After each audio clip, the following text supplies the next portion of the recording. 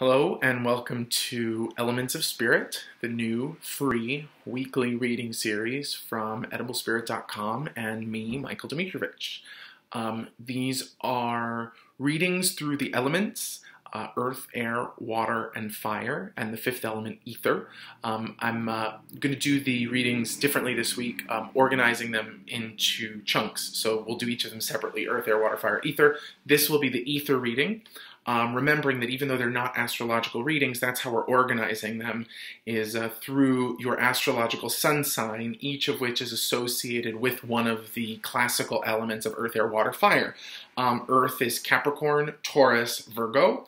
Air is Libra, Aquarius, Gemini. Uh, fire is Aries, Leo, Sagittarius.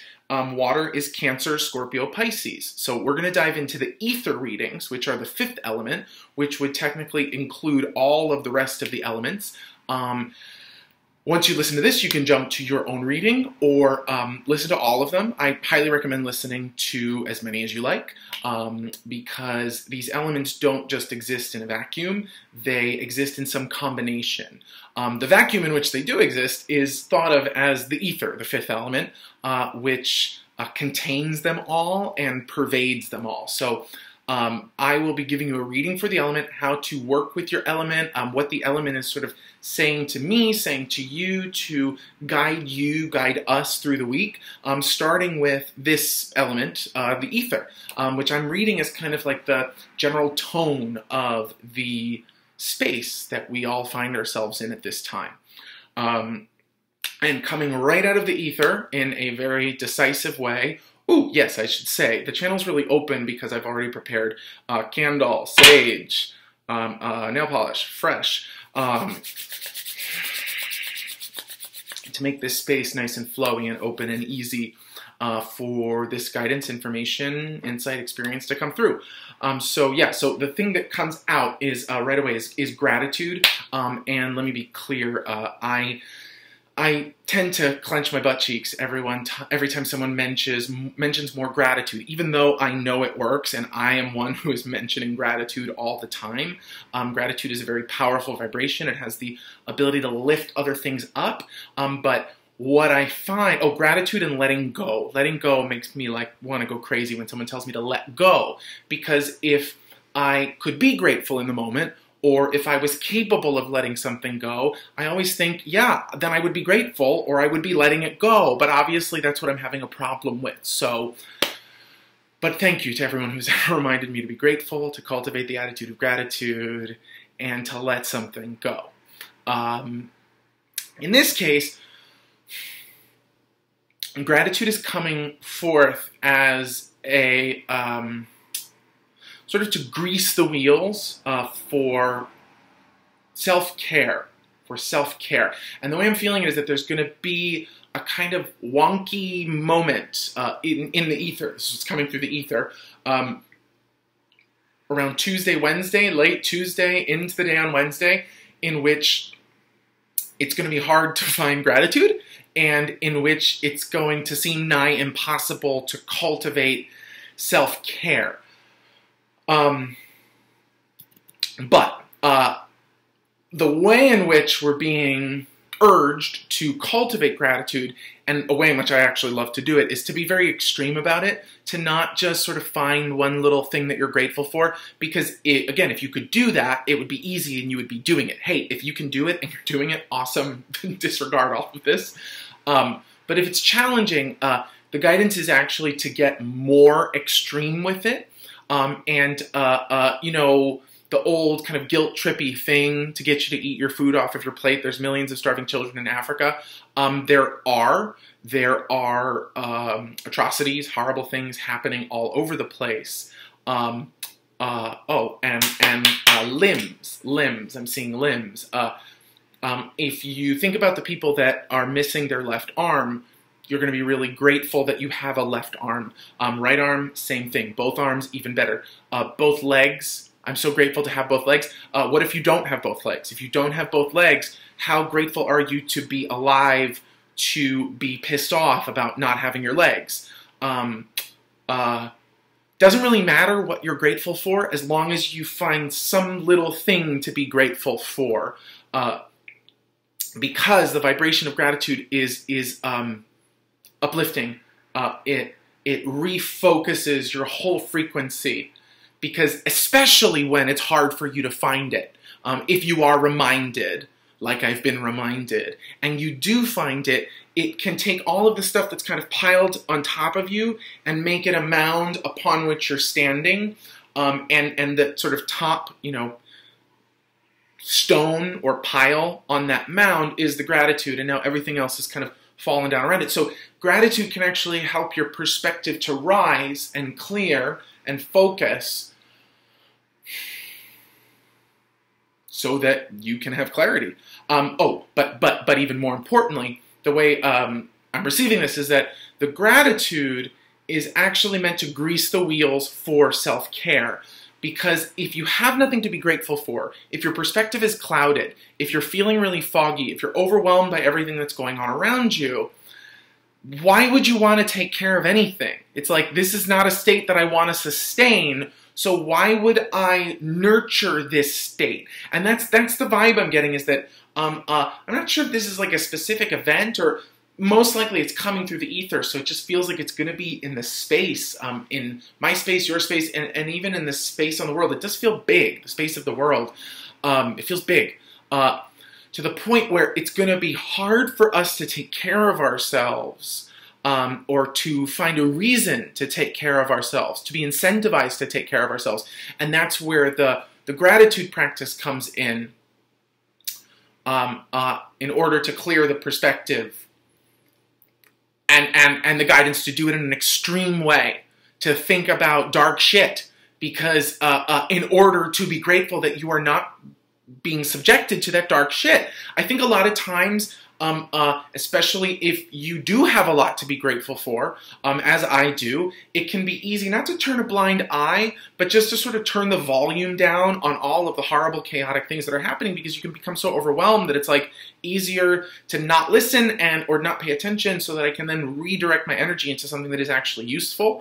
Um, but in this case, the guidance is don't turn away, titrate, use, scoop up some of that crazy. Scoop up some of that dark. Scoop, scoop up some of that stuff that, that makes you want to shut down in order to use it to remind yourself that you have a damn good reason to be grateful because you're not a, a victim of abuse or violence or because you were and you survived. You know, um, so it's it's saying like go to the dark place so that you can clear and find the perspective so that you are then incentivized to take care of yourself. Um, if we all took care of ourselves, we would have a lot more energy to take care of each other. Um, and I, I even kind of have a theory that, like, self healing, which some people poo poo as being indulgent, oh, indulgent, leisure time, you know, um, uh, is very necessary because if you don't heal yourself, if you don't take care of yourself, you have no energy, you can't take care of anyone else, you can't do your service in the world. And sometimes I feel like, can't we have like a global agreement um, to um, all promise to take care of someone else before we take care of ourselves? And if we all promise to take care of the earth um, more than we try to like get shit or or accomplish it, you know, wouldn't wouldn't wouldn't most things be a lot better? Um, uh, and I'm not saying we're going to get there this week, obviously. I realize that there are many, many problems in the way that are preventing us from just taking care of each other and just taking care of the earth. But one of the missing links, I think, is all of the distraction and all of the stuff that comes at us that incentivizes us to not take care of ourselves, to the point where we become so overwhelmed that we have no gratitude and we have no ability to cultivate gratitude. Interesting. So, really, it does feel like by the time we get to Wednesday, um, we're going to want to be nurturing ourselves, taking care of ourselves, um, clearing and finding that gratitude Tuesday into Wednesday night so that we can move through the week uh, uh, uh, yeah, giving ourselves what we need so that in the ether, so that we can get more done in the world using these other elements of earth, air, water, fire, um, practical things, emotional things, um, uh, uh, figuring stuff out, or really big existential things. Am I happy? What's going on? Um, how do I feel approaching this holiday season? We, we get into a very reflective time this year, looking back. Um, this week is not going to cover the solstice. You know, the solstice is going to be uh, uh, 21st. Um, but we are hopping into uh, uh, uh full moon time uh, on Tuesday. Tuesday, yeah, I believe it's Tuesday. Um, I might be wrong. I can't remember. Um, but because again, this is not an astrological reading, so I'm not trying to give you uh, moon sign stuff. Um, it just there's going to be a peak of energy. Oh, awesome! Into Tuesday, um, and then carrying over into Wednesday, where stuff feels uh, feels like problems become very clear to all of us. We all know what we're up against, what we're dealing with. And the idea might be to start chipping away at the problems that reveal themselves Tuesday into Wednesday. But the idea is, is that we actually have to clear some space, clear perspective, rise up, rise above, and from that solid vantage point, resting on a hill of gratitude, um, we are incentivized to take care of ourselves, give ourselves what we need Wednesday, Thursday, Friday, while working and interesting, Saturday, Sunday is not, uh, this is not going to be an easy, chill weekend. Um, and this is when the holidays does actually come into it. This is going to be kind of the last weekend before we can, that we can take care of stuff before we have to get into the real holiday, holiday mode. It's, it's already happening. I'm in Miami. I had to run down to Miami, which is a little weird. Um, that's why I'm wearing my Detroit hat to remind myself that it's not actually summertime right now.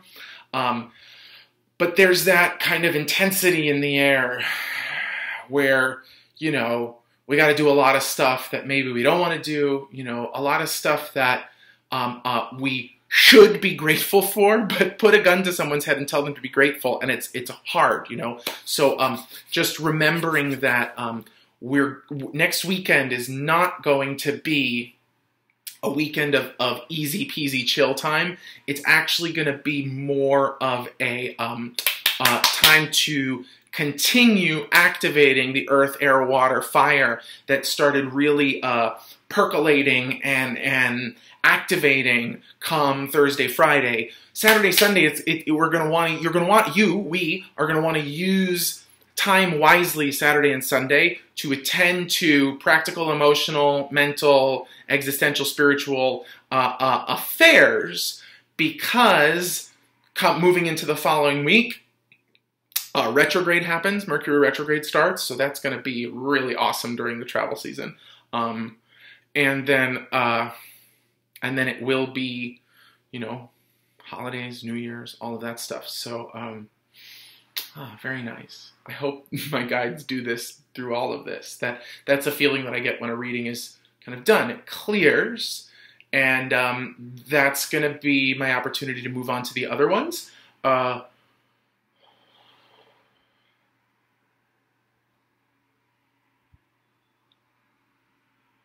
I am grateful. I'm clear. I am allowed to give myself what I need. Um, say it until you believe it. I'm grateful. I'm clear. I am allowed to give myself what I need. Feels like you're going to want to use those all in combination or take little chunks of them throughout the week, but especially, like I said, around Tuesday, Wednesday, Thursday. I am grateful. I am clear. I am allowed to give myself what I need um, tune into Earth, Air, Water, Fire readings for this week, December 12th, right here on the YouTube channel. Somewhere down there, or like over there, over there, I don't know. Okay, see you soon.